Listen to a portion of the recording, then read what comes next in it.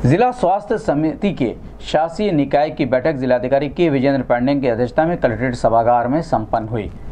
बैठक में डीएम ने जननी सुरक्षा योजना एवं अनटाइड फंड में व्यय प्रतिशत कम पाए जाने पर नाराज़गी प्रकट करते हुए निर्देश दिए कि व्यय प्रतिशत बढ़ाया जाए, क्योंकि वित्तीय वर्ष समाप्ति के कुछ माह अवशेष हैं। उन्होंने कहा कि जेएसवाई के तहत लाभार्थी का भुगतान शीघ्र कर दिया जाए। अन्यथा संबंधित अधिकारी के विरुद्ध कार्यवाही सुनिश्चित की जाएगी।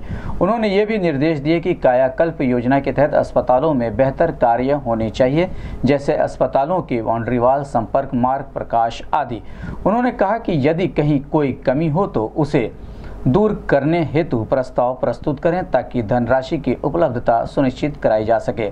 जिलाधिकारी ने अस्पतालों में दलालों के प्रवेश प्रतिबंधित करने तथा पकड़े जाने पर उनके विरुद्ध कठोरतम कार्रवाई सुनिश्चित करने के निर्देश देते हुए कहा कि मरीजों को बाहर की दवाएँ ना लिखी जाएँ। अस्पताल की साफ़ सफ़ाई तथा सभी अस्पतालों में दवाओं की पर्याप्त उपलब्धता एवं चिकित्सकों की उपस्थिति नियमित रूप से होनी चाहिए। जिलाधिकारी ने कहा कि मिजल्स रूबेला अभियान सरकार का महत्वपूर्ण अभियान है। इसका बच्चों के स्वास्थ्य पर कोई दुष्प्रभाव नहीं होता है। निर्धारित लक्ष्य शत प्रतिशत पूर्ण किए जाएँ। बैठक में सीएमओ डॉक्टर एस के तिवारी सहित संबंधित विभागों के अधिकारी मौजूद रहे। वो तो मेरे से खर्च हो जाए उन्होंने आपको भी कॉल किया है। ये क्या कि आयुष्मान भारत को खुद देख रहे हैं। तो हमारे प्राइवेट में काफ़ी हुए हैं। अब तो डिस्ट्रिक्ट हॉस्पिटल में भी आठ दस केस हो गया। फीमेल में भी हो गया। BRD has not open its हो गया? शुरू तो हो गया सर। चलिए बधाई हो आपको कितने? कितने? आ रहा है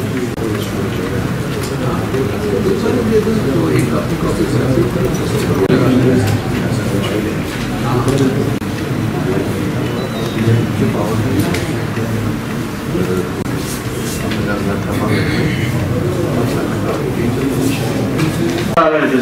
ज़्यादा नहीं है, लेकिन हाफ़ कटर एक इम्पोर्टेंट है, क्योंकि हम लोग वैक्सीनेशन के दिन में यदि स्कूल में हाफ़ कटर नहीं होगा तो हो सकता है वो वेस्टेज ज़्यादा हो जाएगा उधर।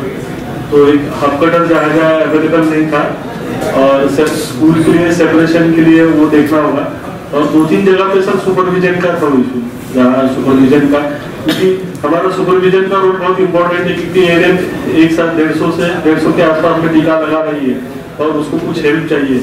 तो डिस्ट्रिक्ट का आने वाले हैं। तो तो उनसे मुलाकात ये एक इम्पोर्टेंट मुद्दा है परसों माननीय मुख्यमंत्री जी ने दो तीन जनपद में दौरा किए बहुत नाराज़ थे। ऑफिसर डॉक्टर में स्वास्थ्य विभाग का ऑफिसर को बुलाकर उन्होंने बहुत की है।